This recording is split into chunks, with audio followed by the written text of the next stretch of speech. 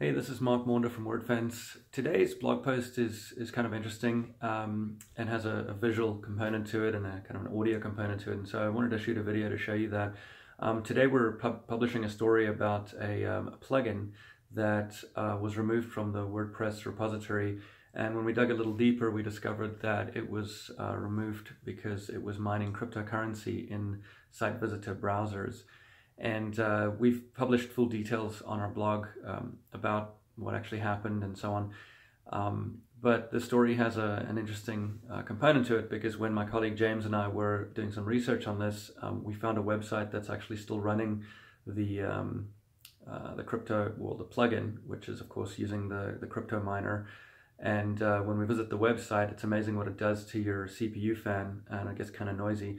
So I wanted to show you what it actually looks like um, when you visit a website that is uh, um, has an embedded crypto miner that's mining cryptocurrency in, inside visitor browsers. Um, so let me let me show you what that's like, and uh, we'll just walk over to my desk over here. And uh, what I've done is I've set up um, a. Uh, uh, let me just move this around a little bitty. So we'll just move that out there, and um, what, what I've got here is a uh, little script that I wrote which shows you um, my CPU fan RPM and uh, that's a really good indication of how hard the CPU is working and how much heat it's generating and uh, how much electricity it's using. And then I've also got graphs showing the CPU usage. And so if we visit uh, just a regular website like um, let's go to um, oh I don't know CNN.com or something like that um, although that might be fairly CPU intensive um, let's go to uh, just google.com. Uh, save you from looking at my calendar. Um, all right, so there, there's Google, and uh, you can see that the um, uh, CPU usage didn't really do a whole heck of a lot. Um, and uh, if we go to WordFence's website, uh, you should see the same thing.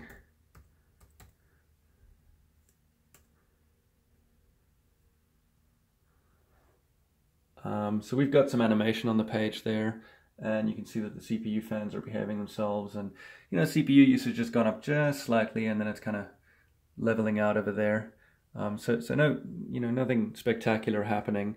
Um, so now let's go to this website that's mining crypto and we'll take a look at what happens. And I'll just paste this in there. So um, we'll just hit enter. You can probably hear that you probably can't hear my CPU fans at all now. Um, so the, this website's loading. All right, there it's loaded. Watch that RPM. So they're both sitting at about, you know, 2800 and 3000. And uh, look at the CPU graph on the right.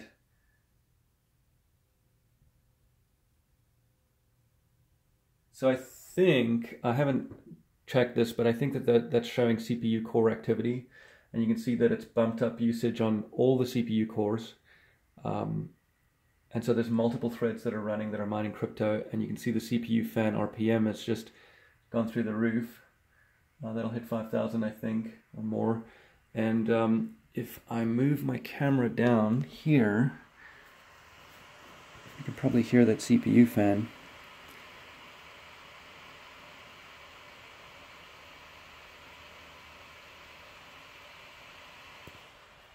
Got our fans now at uh, was it 5,600 and 5,300 and the CPU usage is just maxed on, on all of the cores. And so you know, if you if you're um, if you're going to visit any any other websites the effect of this will be that those sites will be slow. Um, if you're running any other applications you know those applications are going to be, now be competing for resources uh, and so on.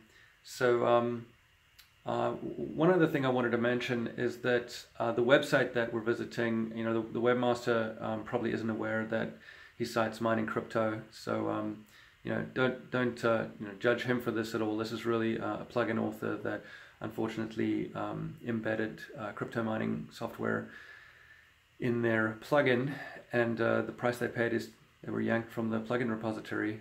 And my guess is the site owner will will remove the um, crypto miner will remove the plugin and thereby removing the crypto miners you know, pretty soon after we post this blog post. So that's it. I just wanted to share this with you, and you can really see the tangible impact here of uh, visiting a site that is running um, CoinHive in this case, which is mining a currency called Monero.